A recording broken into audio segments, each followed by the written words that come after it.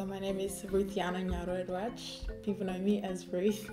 Um, 22 this year. I live in Melbourne, Australia. Before photography, I was writing, and I had this obsession of kind of bringing those words into reality and kind of somehow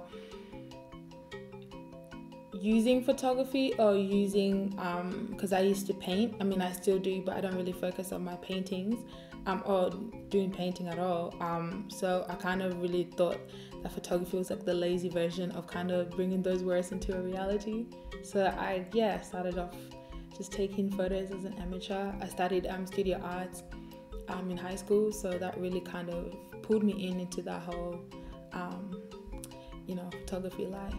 Think being a person of color in Australia influenced me because it's like there's so much difficulties and there's so much that you can say and so much that you can project out into the world as an artist. So, you know, yeah, my friends influenced me. I'm around a lot of creative minds. My mom influenced me. So everything that I observe in my life is kind of the becomes the projection of my work. So everything that I do is within myself. I'm always in my own mind. I'm always like in my own space. I love solitude. So when I gather that information, I gather, you know, a sense of grounding or like a, a point of direction um, to create a project. You know, I it normally is fixated in that headspace. So like I guess is my experience as as a woman of color, you know, and being somebody um, of the diaspora, um, living in Australia. I think yeah, I, yeah, most of my projects are, are very politically driven as a, as a, as a woman of color here. I've had one um, project that I put out there in the world, but I have a few that are very like pulled back. But one of them that um, a lot of people know is the many faces of Nyaruat. So basically, I didn't really.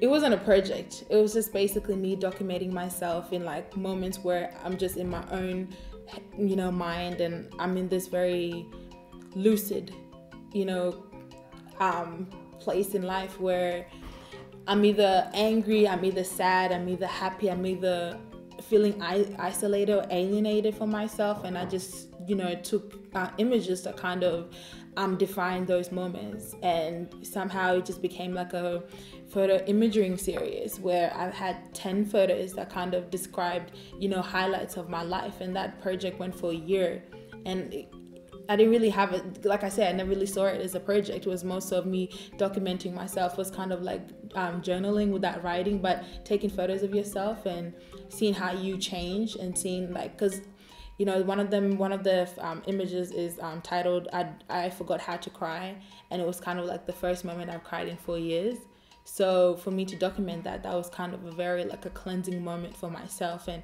it's it's something to, for me to look back and just see that breakthrough and then kind of ask myself, how did I get there? Branding myself out there. So when people see my images, they're like, okay, we know this is Ruth's work. We know who she is as, as an artist, and not kind of like people see my work, we don't know if this is her or not.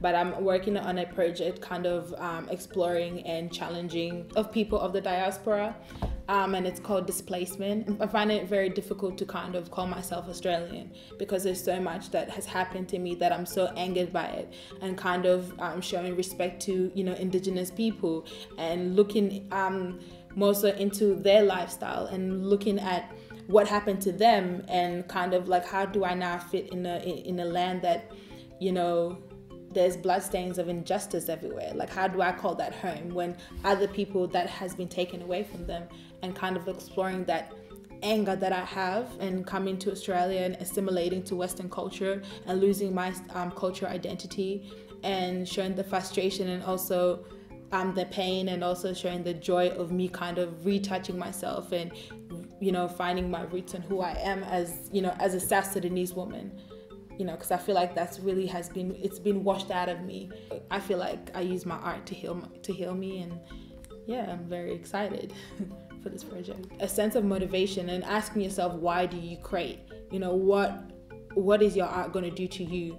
And to me, like I work a 9 to 5 job, you know, to kind of support myself as an artist, but I also you know most of my time and energy spent into me creating and me planning out projects and me working with people and me taking photos of people. So it's just kind of like finding what motivates you find finding what grounds you finding what's the meaning of art to you because everybody has a different perspective. But once you find your own understanding once you find your own meaning of what art is i don't think anything in this world can stop you from creating. I feel like you're just gonna go crazy and just start doing things for yourself and start you know kind of claiming that title as an artist.